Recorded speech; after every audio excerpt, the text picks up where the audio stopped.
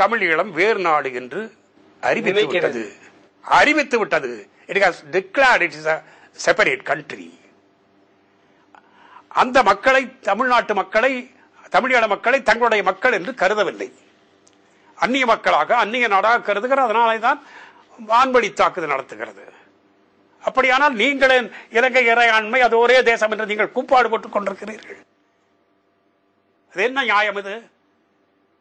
வான்வழி தாக்குதல் நடத்தியதை கண்டித்தீர்கள் யாராவது?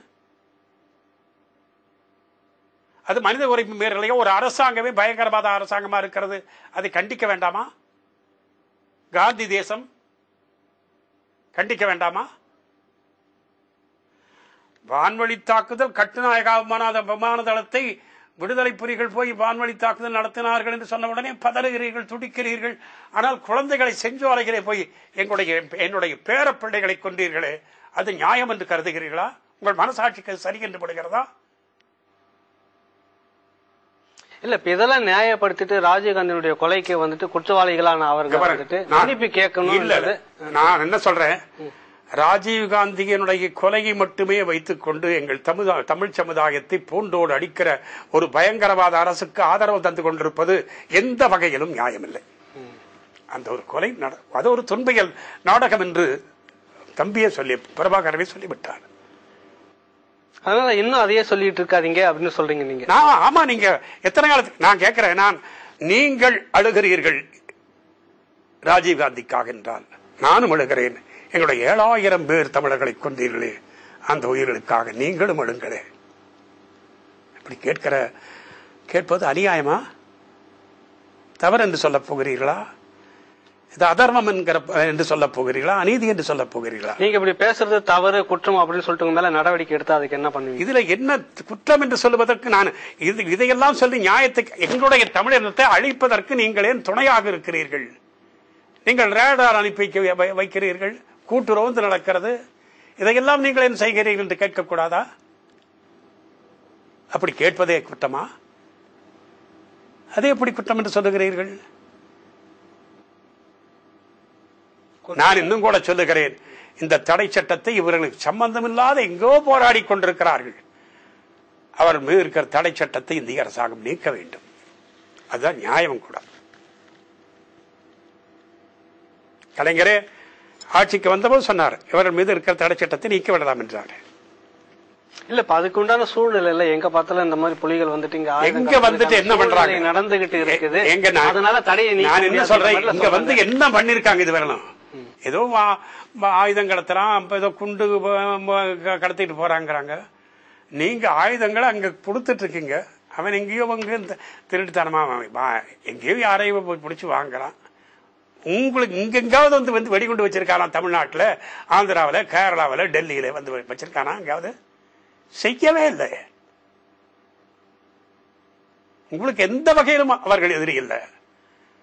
அவர்கள் இலங்கையினுடைய பயங்கரவாத அரசுக்கு எதிராக போரிடுகிறவர்கள் இங்க தமிழகத்திலேயோ இந்திய மண்ணிலேயே அவர்கள் வந்து வன்முறையை தூண்டுறதுக்கு எல்லா விதமான சதி திட்டத்தோட இருந்தாங்க. இருக்கக்கூடிய தமிழை அங்க தமிழர் த- தலைவரா ஒரு அவர் ஒரு சர்க்கிள்ல தலைவரா இருக்கக்கூடிய ஒரு பிரதிநிதியை டக்ளஸ் தேவானந்தா என்கிறவரை தமிழக. மண்ணிலேயே இந்திய மண்ணிலேயே அவர்களை அவர்களை பற்றி பேசுவதையே நான் விரும்பவில்லை. அவர்களை பற்றி பேசுவதையே நான் விரும்பவில்லை. விபீஷணனை பற்றி எத்தனை காலத்துக்கு பேச முடியும்? நான் என்ன சொல்லுகிறேன்? உங்களுக்கு யாராவது இதுவரையில் அவர்கள் சின்ன இடையூறு செய்திருக்கிறார்களாம் இந்தியாவுக்கு அப்படி இடையூறு செய்திருக்கிறார்கள். இந்தியாவிலே பயங்கரவாதத்தை உண்டாக்க விரும்புகிறார் என்றால் நான் அவர்களை ஆதரிக்க தயாராக இல்லை. அவர்கள் செய்யவில்லையே. இப்ப நீங்க சமீபத்துல ஒரு புத்தகம் ஒண்ணு எழுதிட்டு அது வெளியிட அது கூடிய சீக்கிரத்துல வெளிவர போறதா சொல்றாங்க. ஒரு பூகோளமே பலிபீடமாய். ஒரு பூகோளமே பலிபீடமாய். அது என்னன்னா. இந்தியாவினுடைய பூகோள அமைப்பு தான் தமிழர்களுக்கு தண்டனை தந்து கொண்டிருக்கிறது. ஒரு பேப்பர் விடுங்க இந்தியாவினுடைய பூகோள அமைப்பு தான் தமிழர்களுக்கு தண்டனை தருகிறது.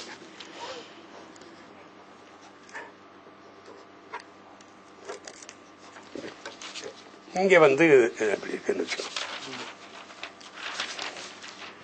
இது இலங்கை. இது வங்கக்கடல். இது அரபிக்கடல். இங்க இமயமலை காஷ்மீர் ஜம்மு காஷ்மீர். இப்போ நில வழியாக எங்கிருந்து தாக்குதல் ஆபத்து வரும் என்று கேட்டால் காஷ்மீர் பகுதியில் இருந்து ஆபத்து வரும். அடுத்து இங்கே வங்க- வங்கக்கடல் தொலைதூரத்திற்கு நில வழியான தாக்குதலுக்கு வாய்ப்பில்லை. அரபிக்கடல் மேற்கேயும் தொலைதூரத்திற்கு நில வழியான தாக்குதலுக்கு வாய்ப்பில்லை. பக்கத்திலே ஒரு தொலைதூரத்தில் கூப்பிடு தூரத்திலே இருக்கக்கூடிய ஒரு நிலம் எதென்று கேட்டால் இலங்கை இலங்கை இலங்கையில் இருந்துதான் இந்தியாவுக்கு ஆபத்து வரக்கூடும். என்று கருதுகிறார்கள் இது இயற்கையான பூகோள அமைப்பு. இதனால என்ன செய்தார்கள் ஆயிரத்தி தொள்ளாயிரத்தி அறுபத்தஞ்சாம் ஆண்டு பாகிஸ்தானுக்கும் இந்தியாவுக்கும் போர் ஏற்பட்டது. லால் பகதூர் சாஸ்திரி அப்போது பிரதமராக இருந்தார்.